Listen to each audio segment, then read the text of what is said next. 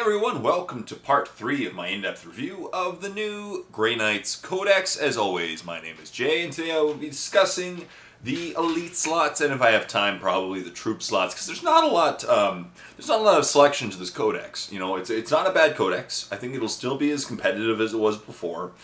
Um, Grey Knights were kind of known as the cheese army for a while back in 5th, but then 6th edition kind of fixed that when it nerfed uh, force weapons to AP3, and uh, a lot of armies just got really good against killing Terminators, such as Tau and Eldar.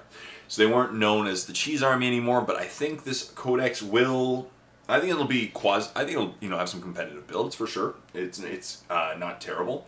Obviously, they did remove a few things. They moved around the Force organization, organization chart, but it's okay. We'll be discussing that in today's thing. And as I mentioned, I'm going to be very con just constructive. I'm going to talk about army building and lists, and uh, what would be good together rather than just, you know, being Debbie Downer. So, as I mentioned, uh, consistent with the previous codices in 7th edition, for example, Orks, um, they've removed the ability to move around the Force Organization chart. So you, you can't bring this guy to bring these guys as troops anymore, which is unfortunate for Purifiers and Paladins. So the Elite slot is going to be a very, very crucial slot in a Grey Knight's army because many of the times people bring paladins or purifiers as troops. So now you just bring they score anyway, but um, now you can. Um, sorry, now you can just bring them as elites, and you do get up to four elite slots in the Grey Knight Force Organization chart, which I discussed in the first video. I also forgot to mention, in case you guys are wondering, uh, they also removed Grand Strategy I was I forgot to bring that up about the Grand Masters. There's no more Grand Strategy. I think I, oh I think I did bring that up, but uh, it's okay.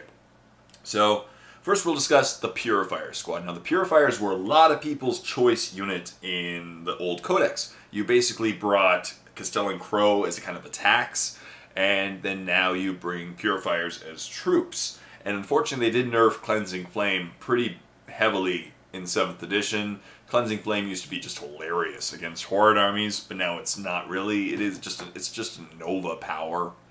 But um, Purifier squads actually went up in cost by five points. They used to be 120, now they're 125. Same stat line as before.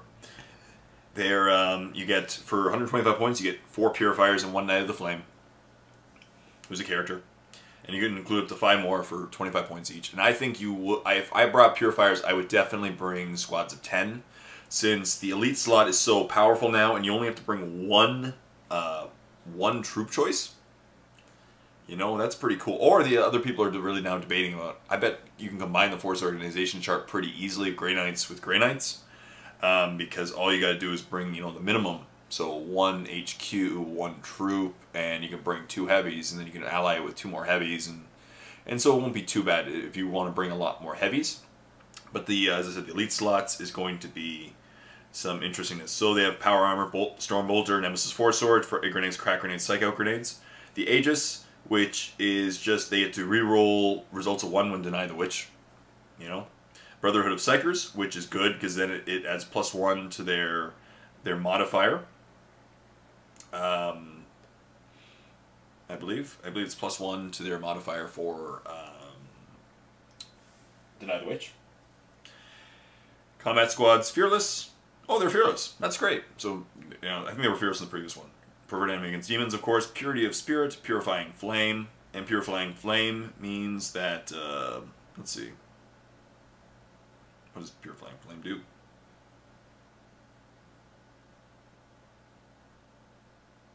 Uh, oh, it uh, all close combats made by purifiers have soul blaze. Not bad. So it might hurt them in the long run. So again, against a horde army, that'd be pretty handy. And uh, purifies know the banishment, hammer hand, and cleansing flame powers. For every five models in unit, two purifiers may take an item from the special weapons list. Now, the special weapons list is what it's awesome. The incinerator, silencer, psi cannon. So if you have ten, you can bring four psi cannons, two psi cannons, or silencers, or incinerators.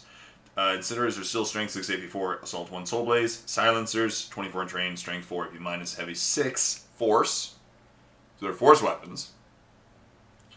That's pretty cool. And psi cannons, uh, strength 7, AP4, salvo 2-4, rending. So you just don't want to move because if you move, your range is is cut in half, but has rending, still strength 7, so that'll still help. You know, that many shots.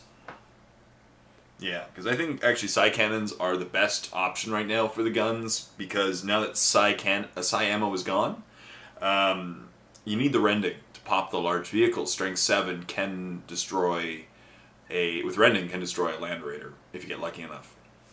So squads of 10 would be great. Maybe combat squatted into two squads of 5. That way it takes up only you know one slot and then two squads. And you get a lot of Psi cannon shots to fire at different things. So cool stuff. And now you don't need to bring Castellan Crowe anymore. He's kind of weird. He got more expensive, but he's no longer, you know, his sword no longer helps the enemy, but he can no longer take down your opponent when he kills them. So, I don't know. Kind of an interesting, uh, interesting choice at the moment. So, yeah. So that's kind of interesting.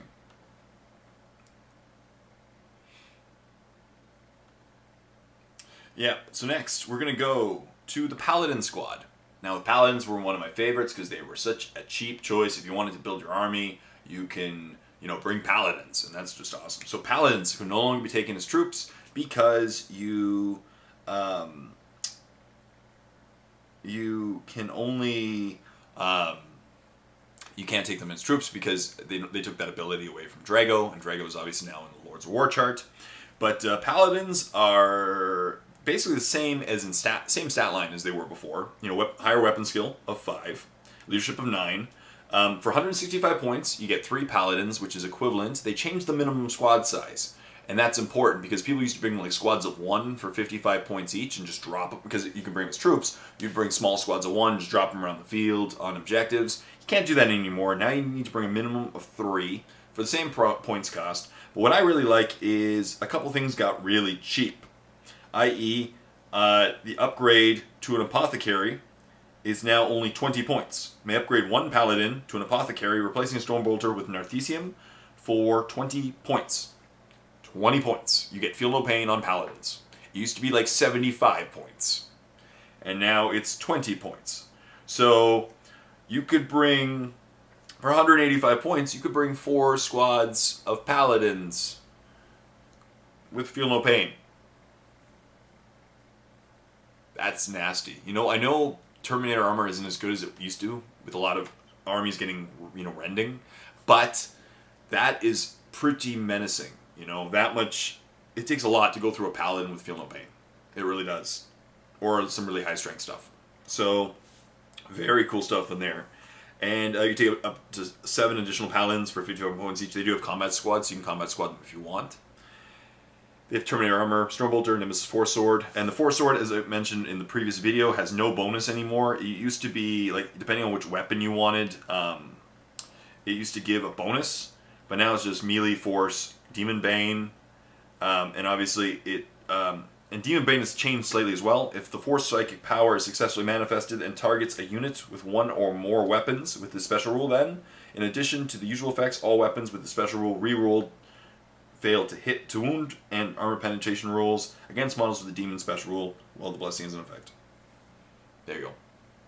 So it's slightly different than it was before, and uh, yeah, they're an interesting squad. So I still think they're going to be viable. I think people are going to be bringing in the elite section either amounts of venerable dreads or paladins because I think paladins with feel no pain is going to be really nasty. They know the banishment, hammerhand powers, and they can take a Land Raider as a dedicated transport, so it doesn't take up that not, that heavy force organization chart. You only get two slot. You only get two choices.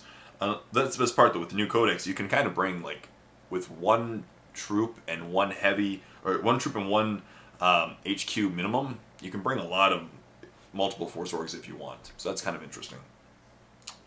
So yeah, overall, Paladins got uh, the same price, but the upgrades to a Apothecary got much cheaper, which will help them.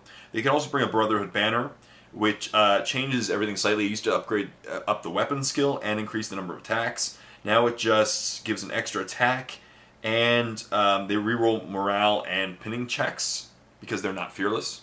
Or you can bring one Nemesis banner per army, and the Nemesis banner, as I mentioned in the last one, um, grants fearless to any to all the models within 12 all the units within 12 inches of the bearer and plus one attack and all the demons within 12 inches of them treat terrain as dangerous. So, that's pretty cool. Good stuff there. Up next, we have the Dreadnought. Unfortunately, the Dreadnought was moved because in the old Codex, the Dreadnought was both the heavy and the elite slot, so people could bring six Dreadnoughts. The answer to that is if you still want to bring six Dreadnoughts, bring two Force Organization charts, and you'll be in great shape. Because you can now with a very low minimum cost of like two strike squads and two leaders, two librarians, and you're in great shape. So the Dreadnought is now 125 points, so it went up in cost. Um, it was unfortunate. It used to be in the heavy slot, and it used to be 100 points, 115 points, and so it's now 125 points. Um, but the ability to make it venerable is only 25 points, so it's now 150 points for a venerable dreadnought. It used to be 175, so it dropped in cost. I think a venerable dread is the way to go. Uh, for an extra 25 points. Right now, vehicles got a huge buff in 7th edition. They became much harder to kill. So now making a venerable dreadnought is even better because it changes, it, oh, it decreases the odds of them dying to so little. So that's really good stuff there. Um, now here's where it gets a little confusing. They have war gear. They have a multi-melta, power fist with built-in stormbolter, searchlights, and smoke launchers. So they have multi-melta and a power fist. And you can replace the power fist with a twin-linked autocannon for 15 points. But it also says a may, may take items from the Dreadnought weapons list. Um, let's see here. Which is, I believe, another... Yeah, you can take another twin-linked autocannon for 5 points.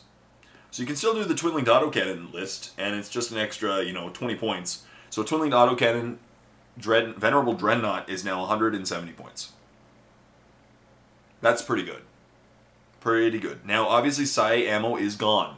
So Psyfleman Dreads are going to be gone. But the double autocannon list I still think is the best combination because Strength 7, I know it's not as good as Strength 8, but Strength 7 will help against light armored vehicles and it'll just kill a lot of the medium stuff and you have to use Psi can unfortunately Psi cannons are one of the few things or a, a like a Dread Knight in close combat to uh, destroy like the Land Raiders. So I really think the um, you get extra armors if you want, which would help as well. But I think that the Venerable Dreads are going to be a, a, great combination for this army. They also have Psychic Pilot Mastery Level 1, so they're a Psychic Vehicle, and Psychic Vehicles were kind of removed from the rest of the other vehicles. I'll be going over the other vehicles later, but Psychic Pilot was removed. They have Preferred Enemy, the Aegis, and the Aegis is now just um, the plus one, I believe, to deny the witches. Oh, sorry, I can reroll at least one model with this rule can re-roll uh, results of one to, for deny the witch rolls. You know, not too bad. So, as I said, Dreadnought, I think, is a good option, but Venerable Dread is a great option for this army. Venerable Dread, two twin-linked autocannons, strength 7, no longer strength 8, but you get a lot, and you get to shoot a lot, and it'll do some damage to things. You know, against most armies, it'll be okay. Uh, against orks, Tyranids, you'll be fine. Against the only thing is you're gonna it's gonna suck if you're shooting front armor of a Vindicator or and you can't glance a Land Raider anymore. But uh, you'll be okay. And uh, that's it for the elite slot. As I said, there's not a lot to this codex. Uh, the Tech Marine was moved from the elite slot to the um, the HQ slot, and on top of that, um, the elites were also filled with the inquisitorial henchmen in the previous codex, and the inquisitorial henchmen are in their own codex, and the assassins are in their own data slate, which I will be doing a review later on. So, we're only 10 minutes in. Let's keep going. I think we should keep going. Let's talk about the troops. Which, again, this will not be very long, because there's only two troops choices now, and you can't even take paladins or purifiers as troops anymore, so there's just two troops choices. And I said the minimum number of troops is one, and the maximum is four. If you do go four, I'd recommend combat squadding them to eight, but that's just my opinion. And the two choices are the strike squad, the base marine, or the Terminators. And I really like the Terminators, but we'll discuss that in a moment. So the strike squads got more expensive. Again, kind of weird. But uh, they got more expensive. They used to be 100 points, now they're 110. Um, you get four Grey Knights and a Justicar for 110 points. They have, you know, the usual stat line. Four is all around, leadership 8. Justicar is leadership 9. And Power Armor, Storm Stormbolter, Nemesis Force Sword, Frag Grenades, Crack Grenades, Psych Out Grenades, the Aegis, They Shall Know No Fear, Brotherhood of Psykers, Combat Squads, Deep Strike, Preferred enemy, purity of spirit. So again, they have deep strike themselves, so you don't need to ever worry. They are never going to take a drop pod. And the new cool rule is that, you know, if you're bringing a force organization chart primarily from the Grey Knights Codex, you can start deep striking turn one, and one of the Warlord traits, or one of the uh, artifacts, one of the other, uh, allows them to deep strike in turn one on a three automatically. So that's pretty awesome. Pretty awesome stuff. I like it. So you can drop in all your deep strike, you know, you like, I think max squads of Grey Knights dropping around the battlefield, just shooting everything would be amazing. And they can run and shoot the turn they come in. That's awesome. Uh, you can include up to five additional Grey Knights for 20 points each. So I guess the Justicar is the extra 10 point guy. For every five models in the unit, one Grey Knight may take an item from the special the heavy the special weapons list. Uh, any Grey Knight may take weapons from the list. Uh, the Demon Hammers, I think, got a little bit more expensive. They're now 10 points. I thought they were cheaper before. Maybe I'm wrong. But uh, Nemesis Force Halberd is now plus one to strength, AP3, two-handed. Falchions are just an extra attack. Nemesis Warding Staff has the Ward special rule. It's strength plus 2, AP4. And the Demon Hammer is, of course, strength times 2, AP2. Um, but, uh, yeah, so it's pretty straightforward. And they can take a Rhino or a Razorback as a dedicated transport. They no longer have access to the Chimeras because they do not have access to the Chimera Henchmen anymore. So, good stuff there. So, once again, pretty much standard stuff. They went a little bit more expensive in cost. But of course, now you only have to take one. If you really want to take a Paladin list or a Purifier list, you'd only have to take one squad. You know, 110 points. That's all you need to pay. So not bad there. Um, I think Grey Knights are going to still be, you know, the Strike Squads are still a very viable option. Uh, you stack your field with them. They don't have the, unfortunately, they lost that cool psychic power where they, um, they, you know, they could pass it so they automatically, you know, you fail if you deep strike near them. That sucks because that way they got weaker. But uh, yeah, it's unfortunate. So then, Terminator Squad.